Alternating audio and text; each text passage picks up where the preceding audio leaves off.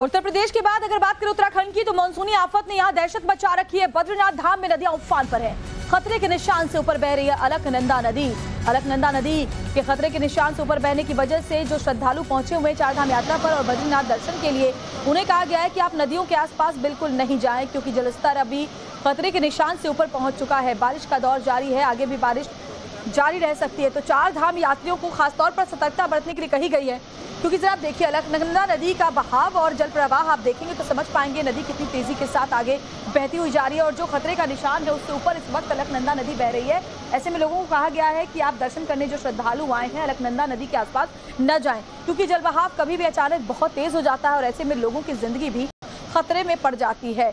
उफान पर अलकनंदा नदी इस वक्त आपको दिखाई दे रही है, खासतौर पर चारधाम यात्रा के लिए गए हुए श्रद्धालुओं के लिए।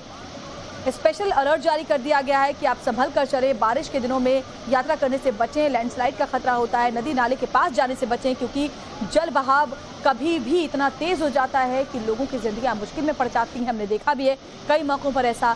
और अब उफान पर अलकनंदा नदी अपने तेवर दिखाती हुई बता रही है कि अभी भी अलकनंदा के आसपास जाना खतरे से खाली नहीं, क्योंकि डेंजर लेवल से ऊपर नदी बह रही है।